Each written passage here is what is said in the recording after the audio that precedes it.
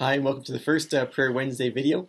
Again, over the course of the next number of weeks, we want to take some particular time on Wednesdays to pray and to intercede, to ask God to move and to work in our hearts and in the world around us, because we, we recognize that nothing can change the world like pursuing God, growing closer to Him, and asking Him to move and work in our midst as well. Today, for our first one, I think it just makes sense if we take some time and space to just pray and ask God to move and work during the season with COVID 19. Again, it's an obvious thing that we're all facing that's going on in the world around us that we have a variety of views and perspectives on.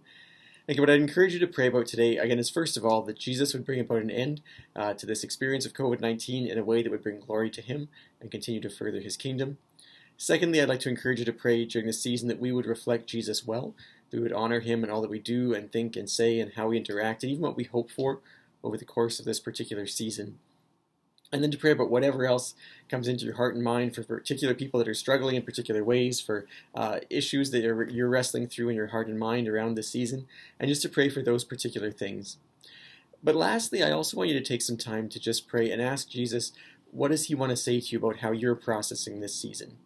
Again, it's possible that we have misperceptions in our intellectual understanding of how we're viewing this season, or maybe you're exactly right in how you view this current season, but maybe he wants to challenge some of your attitude or your approach, uh, or how you're interacting with others, or what you're thinking or feeling or processing in this particular space. it's always just a good thing to ask him what he thinks. Where is he in this moment? What does he want to say to you about the ways that you're currently experiencing this season? And so, again, I encourage you to pray about those four things Again, that he bring about an end to COVID 19 in a way that would bring him glory.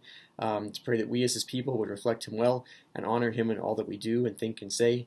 To pray for whatever else is on your heart and mind around this season.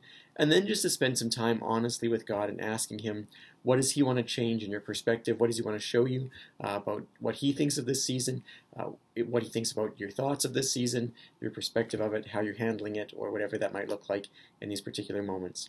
Again, we're encouraging us to spend some time between 12:15 and 12:45 praying about these things. But you can pray about this all day or at any part of the day. Again, you can pray about that here at the church uh, or wherever you may happen to be. Just pray that God would bless and guide you and meet with you in significant ways as you process these things.